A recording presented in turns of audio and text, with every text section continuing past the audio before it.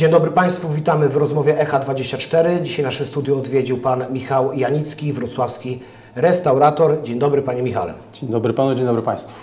Panie Michale, e, sytuacja e, podczas epidemii w gastronomii. Jak to wyglądało z punktu widzenia właśnie restauratora? No bo z punktu widzenia mieszkańców, e, obywateli to, to wiadomo, nie mogliśmy przez pewien moment chodzić w ogóle do restauracji, serwowano tylko dania na wynos. A jak Wy to przetrwaliście? Początek był bardzo ciężki. Ja pamiętam ten pierwszy weekend. Tak się składa, że my w ten weekend mieliśmy oficjalne otwarcie jednej z restauracji, które się nie odbyło. Restauracja funkcjonowała tak naprawdę kilka dni e, i nawet nie miała czasu pozyskać klientów, e, zanim została zamknięta.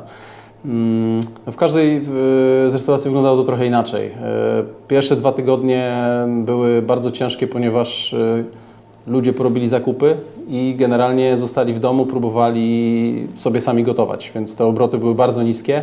Gdzieś około 10-12 dnia zaczęły rosnąć, pojawiły się, mm, wszystkie nasze restauracje miały opcję dowozu i te dowozy zaczęły systematycznie rosnąć, więc y, my przyjęliśmy od razu strategię, żeby nikogo nie zwalniać, żeby przeczekać, chociaż liczyliśmy, że to nie będą dwa tygodnie, tak jak na początku mówiono, tylko dłużej. Nie liczyliśmy, że aż tak długo, ale liczyliśmy się z tym, że to będzie dłużej i przestawiliśmy się w całości na dowozy, dopracowaliśmy dania, E, logistykę i po prostu zaczęliśmy być restauracją wyłącznie na dowóz. E, I ten model, jak rozumiem, się sprawdził, bo chyba żadnej z Waszych restauracji nie musieliście zamykać. Mm, nie musieliśmy. Zrobiliśmy e, w jednym przypadku taką rzecz, że scentralizowaliśmy działalność. To znaczy, zamiast prowadzić 3 czy 4 kuchnie w różnych miejscach Wrocławia, scentralizowaliśmy jedną z sieci restauracji w jednym miejscu i dowozy nie jeździły na przykład z Kiełczowa czy z Ołtaszyna, tylko wszystko wyjeżdżało z centrum Wrocławia. Nie było korków, był mniejszy dużo ruch i to było możliwe. E, panie Michale, e, Wasze restauracje, e, tutaj trzeba to mocno pochwalić, bo restauracje Pana Michała i jego wspólników, można powiedzieć, rzuciły się do pomocy personelowi medycznemu w czasie pandemii. Woziliście im darmowe obiady, śniadania e, i tak, tak dalej, i tak, tak dalej. Proszę podsumować tę akcję, bo myślę, że to warto o tym powiedzieć, no bo to chwalebny czyn, godny pochwalenia, godny rozwinięcia. No my byliśmy chyba jednymi z pierwszych, że nie pierwszymi, którzy zaczęli tę akcję we Wrocławiu. Głównie dowoziliśmy do Soru na, na Borowskiej i nawet dzisiaj taka dostawa poszła, chociaż już się wydaje, że sytuacja jest trochę e, unormalizowana, znormalizowana, ale e, no w dalszym ciągu te dowozy są. To w sumie już trudno policzyć, ale to jest e, myślę, że kilkaset, może, może tysiąc, może tysiąc kilkaset posiłków, które w, przez te trzy miesiące wyjechały. No my akurat tam mamy blisko z jednej z restauracji, więc skupiliśmy się tam, całe nasze menu i śniadania i, i obiady i kolacje tam jeździły. Okej. Okay.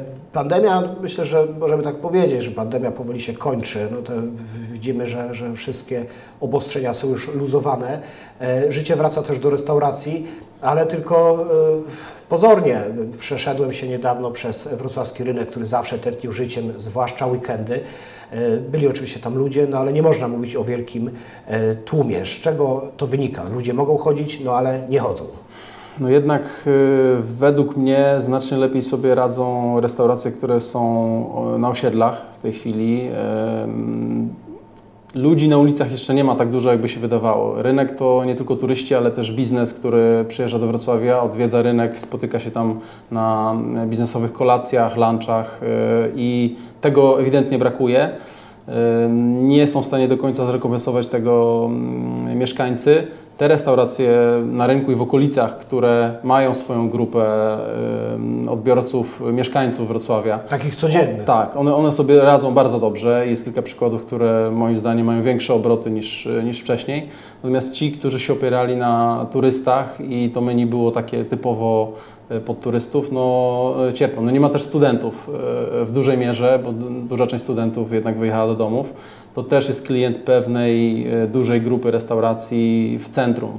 W centrum jest najwięcej na metr kwadratowy mm, restauracji, więc tych stolików jest najwięcej, więc e, tylko najlepsi sobie tutaj myślę radzą.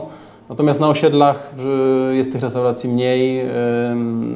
Ludzie też nie, nie mają tyle powodów wciąż, niektórzy zostają w domach, żeby wyjeżdżać, więc prędzej odwiedzą restaurację na osiedlu. Czy to oznacza, że y, przerzedzie nam się oferta gastronomiczna na rynku? No bo trudno uwierzyć, żeby któraś z tych knajp rynkowych no, nie splajtowała. No są, y, jest sporo już zamknięć, y, ale też są otwarcia, co mnie osobiście zaskoczyło. Być może to były przygotowywane wcześniej projekty, które się, y, no nawet w samych Sukienicach jest nowa restauracja, która się dopiero co otworzyła,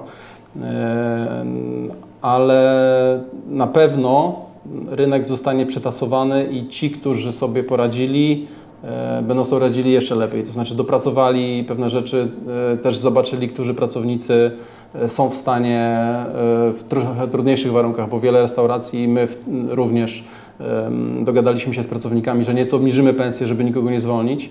I no też ci, którzy otrzymali jakąś pomoc rządową, to, to na pewno y, mogą obronną ręką wyjść z tej pandemii. No właśnie, a że zapytam o pomoc rządową. Jak to wyglądało w, w przypadku gastronomii? Czy, czy Pan korzystał z tarczy antykryzysowej? Wciąż się staramy. Nie otrzymaliśmy jeszcze pomocy, ale liczymy, że, że, ona, że ona dotrze.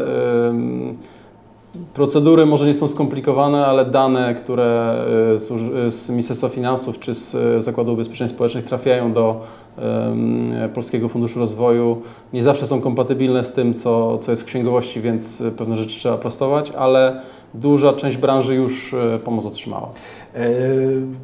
Rząd stara się pomagać, różnie to wychodzi E, różnym branżom, w tym gastronomii. E, starają się pomagać też różne instytucje, na przykład wiem, że kolej e, obniżyła czynsz najemcom lokali przy ulicy Bogusławskiego pod tym słynnym nasypem. Wtedy, teraz na czas COVID, na czas epidemii restauratorzy stamtąd płacą znacznie mniejszy czynsz, ale z tego co wiem nie wszyscy tak robią i mówimy tu o instytucjach publicznych. Troszeczkę tutaj Pana no, podbieram, no bo wiem, że Pan też się styka z taką właśnie mhm. sytuacją. Znaczy z jednej strony y, mamy właścicieli naszych lokali, którzy są y, podmiotami prywatnymi i tutaj ukłon w ich stronę, bo wszyscy obniżyli nam te czynsze na, na te trudne miesiące. Y, a z drugiej strony mamy też sytuację z jednej instytucji publicznej, czyli z Akademią Wychowania Fizycznego, która na razie stwierdziła, że nie obniży ani o złotówkę. I akurat e, na obiekt, który mamy na Stadionie Olimpijskim był zamknięty kompletnie, tam nic się nie działo przez e, ponad dwa miesiące. I jest to trudna sytuacja, natomiast no, do tej pory takiej decyzji, znaczy podjęli decyzję odmowną, że, że nie obniżą czynszy nikomu. Tutaj dodajmy, żeby nie było niedopowiedzenia, chodzi w tym wypadku akurat konkretnym nie o restaurację, E, chociaż taką prowadzi Pana wspólnik na, na tym terenie, ale chodzi o słynny e, balon e, piłkarski, w którym można sobie grać w piłkę. Duży, duży obiekt na Stadionie Olimpijskim, którego Pan Michał jest współwłaścicielem i faktycznie tam nie można było w ogóle wejść, no bo nie można było grać w piłkę w pomieszczeniach, w, ten, w pewnym momencie nawet na dworze nie było można grać, ale faktycznie ten balon stał pusty, no więc troszeczkę dziwna, dziwne jest podejście Akademii Wychowania fizycznego. Tym bardziej dziwne, że tam wydawało się, że władze y, AWF-u to, to ludzie raczej tacy do, dostojący, starający się mieć dobre relacje z biznesem, z mieszkańcami. No tak, szczerze mówiąc, byliśmy zdziwieni, bo była taka procedura, w której musieliśmy władzom AWF-u wykazać to, ten spadek obrotów. Trochę absurdalny, bo wszyscy wiedzieli, że te obiekty sportowe są zamknięte. Wszystkie obiekty sportowe były zamknięte, więc obroty spadły do zera. E, więc my złożyliśmy takie dokumenty potwierdzające to, no i dostaliśmy odpowiedź odmowną. E, z jednej strony, z drugiej strony wspólnik, który właśnie ma restaurację mm, również na terenie stadionu, też taką decyzję otrzymał. No, mamy nadzieję, że, że to się uda zmienić, bo e, w przeciwieństwie do, inny, do innych miejsc tam w ogóle nie można było prowadzić działalności. No właśnie. Wróćmy na chwilę jeszcze do gastronomii i rynku. Y, no bo niedawno okazało się, że będzie nowy najemca piwnicy świlickiej, jednej z najstarszych restauracji w ogóle w Europie. Piwiarnia to chyba jest w ogóle najstarsza w całej Europie, to, to warto podkreślić. Przez lat wiele ta znakomita przecież restauracja podupadała, przez dobrych kilka lat była w ogóle zamknięta.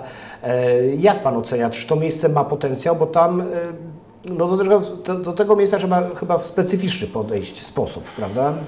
I jak najbardziej ma potencjał, e, to też pokazują te lokale, e, które mają taką tradycyjną polską kuchnię e, nastawioną na turystów.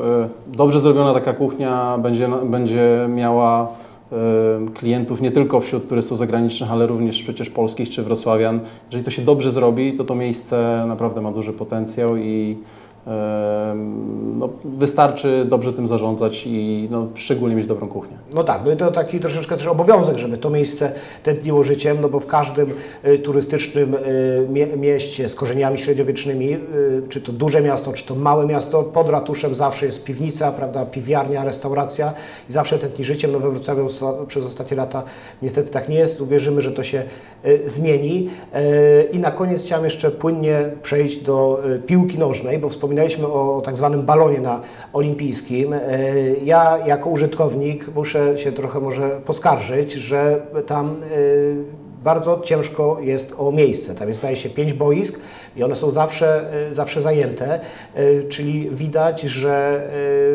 jest potrzeba takich obiektów we Wrocławiu. No i pytanie, czy Wy macie jakieś może plany inwestycyjne z tym związane? Czy powstanie nowy balon? Zdaje się, że powstał już niewielki w miejscowości Ślęza, tuż pod Wrocławiem, no ale Tak. tam zdaje się, że są dwa albo trzy boiska, no i jednak jest to poza Wrocławiem. Sta- No, trudno porównywać to do y, balona przy Stadionie Olimpijskim. Tak, tak.